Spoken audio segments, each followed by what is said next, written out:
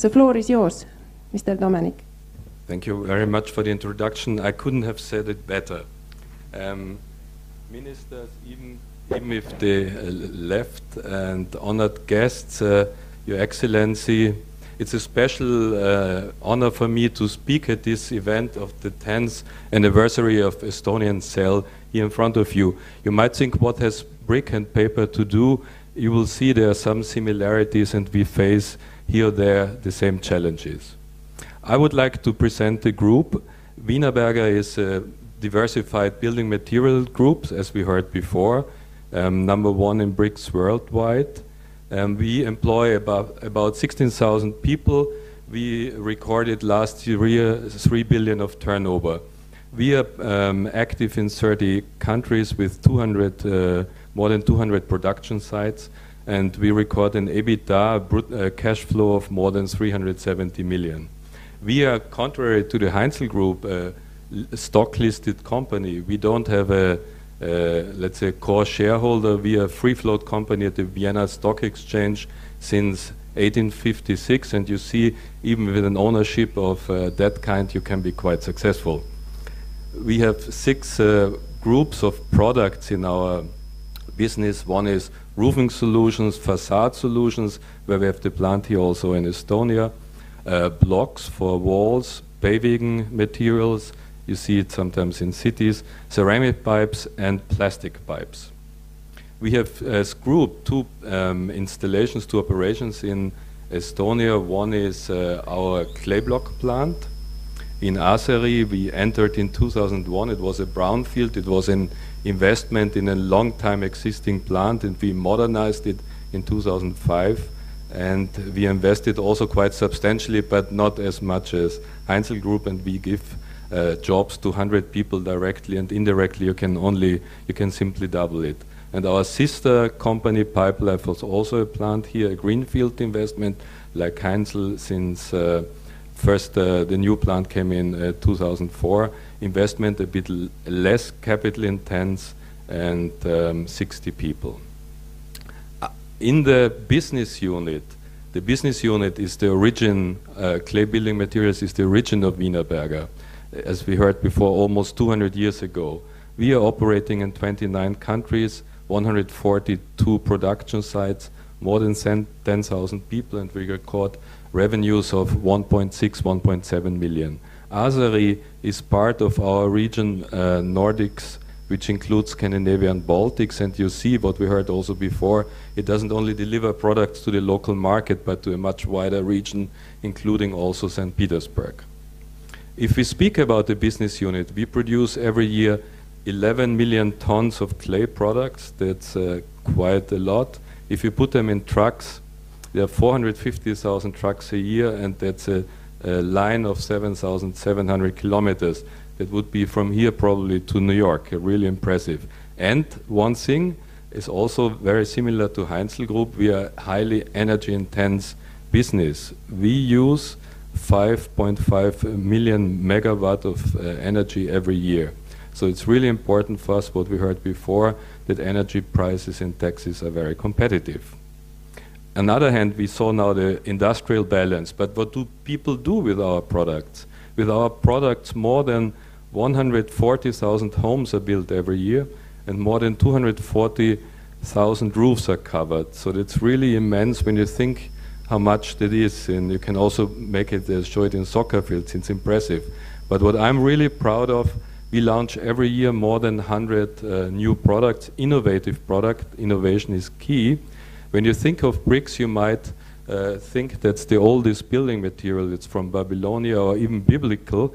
You see the photo on the left. It's not that old, but maybe closer to when we were founded. But today, our business is highly automatized and I think we heard before about chances where successful economies or nations should go. I think that's really a chance also for Estonia to combine manufacturing with information and communication technology to combine it in something like Industry 4.0.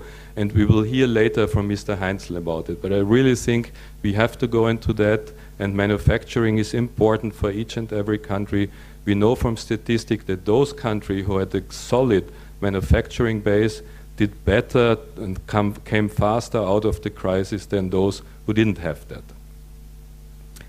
We, um, the BRICS, yeah, we had the Olympics in uh, Brazil, and we think really BRIC has many talents. Yeah, that's proven. First of all, it's versatile, it's energy efficient. Yeah, when you have, have a house made of bricks, you um, use, you consume less energy. They're durable.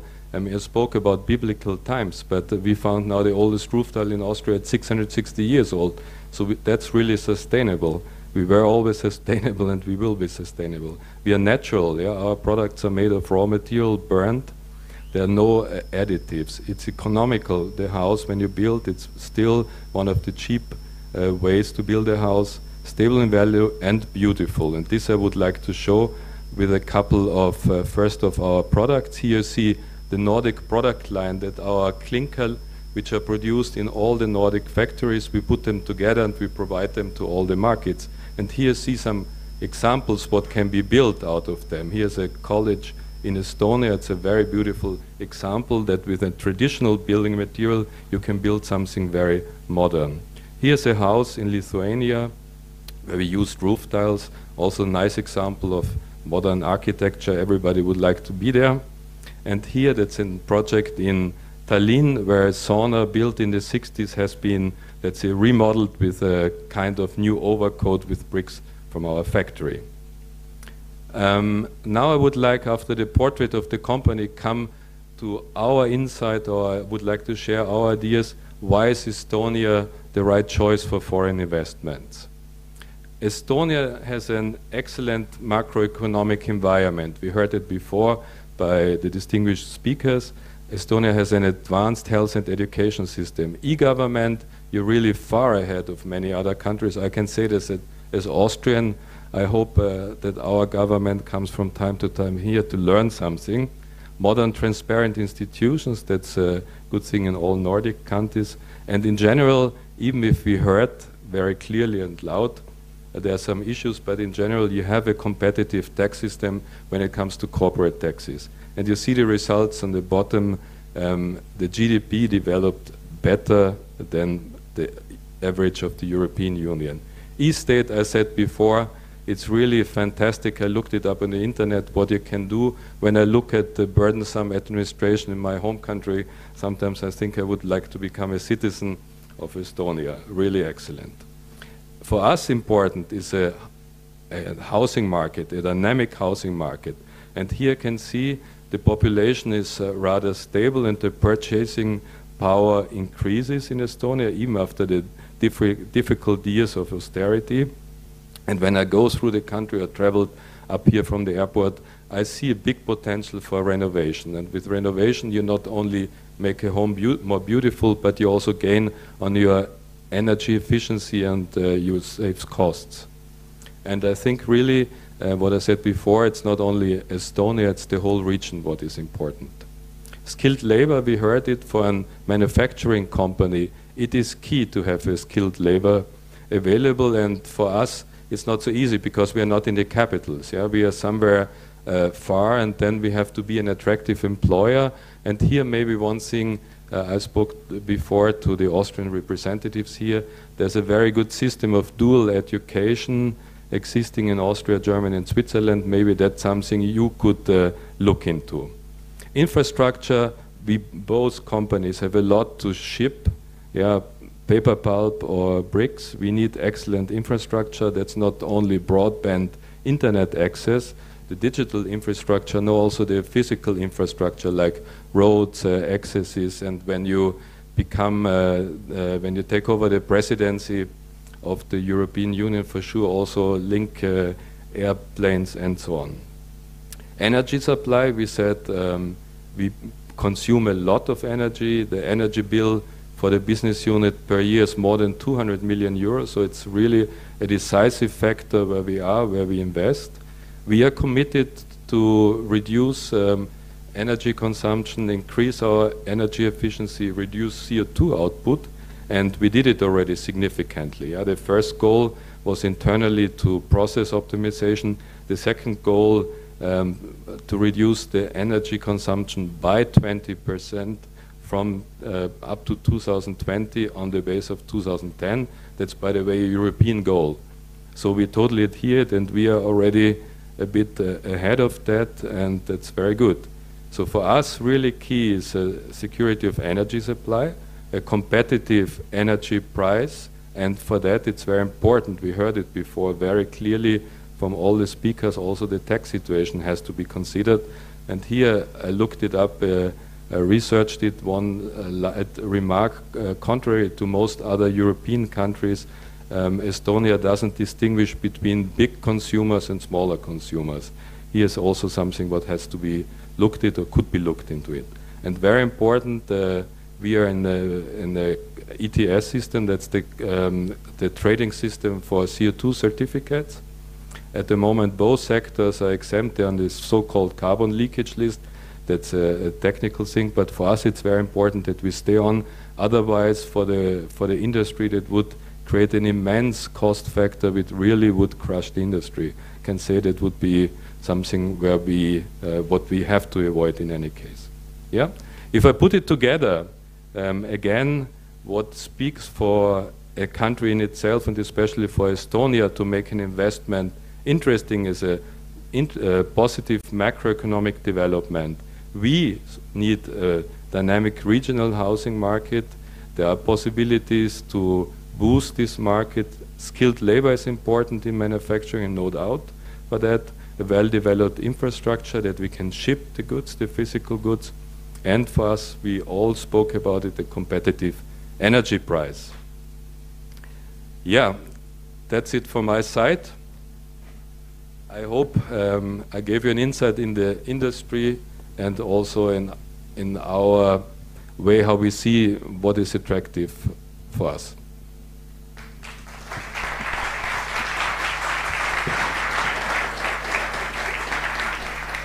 Uh, thank you, Mr. Dominic. Now the audience have chance to ask some questions from you. lugupeetud publikum, kas on küsimusi Wienerbergeri tegevjuhile härra Dominikile?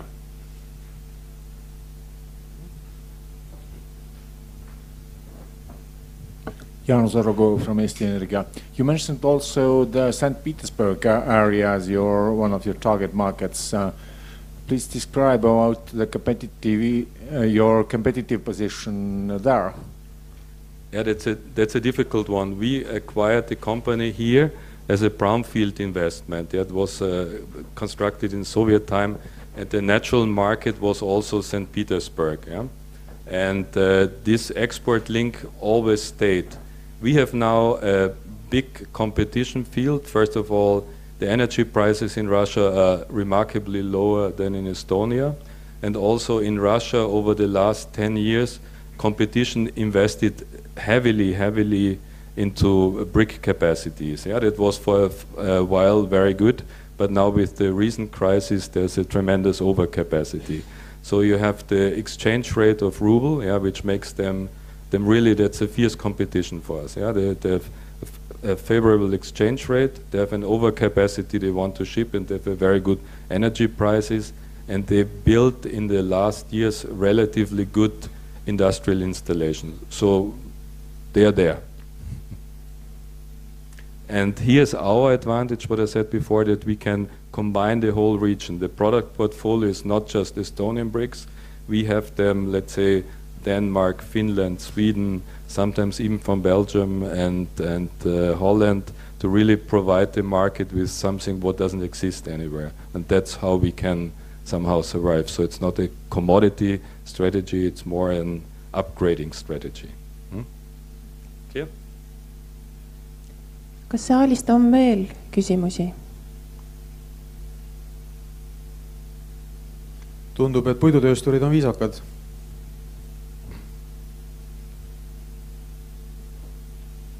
Okay. ei ole kätemeerd. ma siis küsiksin viimase küsimuse I would like to ask a question from a slightly different angle. That you obviously are aware of all advantages and disadvantages of Estonia, as you already have investment here. You would think back and if you wouldn't know Estonia, your headquarter is in Vienna, uh, some 2,000 kilometers out of uh, northern coast of Estonia. If you wouldn't know Estonia, what could trigger the investment here? No, what what for us is most important is of course the the consumer, those people who build with our bricks, and uh, here we really have a we believe in this uh, region. Yeah, it's a dynamic region, and then there's one is new build, yeah, and the other one is renovation. So there are two axes we might think, and I think uh, Estonia in the Nordic context is an attractive market, no doubt. Yeah, and everybody from outside looks at this one thing, uh, what is really different from other countries that you have from a governmental point, e-governmental point, really you set the, the standard very high and I think that's interesting for many countries to, uh, and for many businesses to come. Thank you, Mr. Dominic.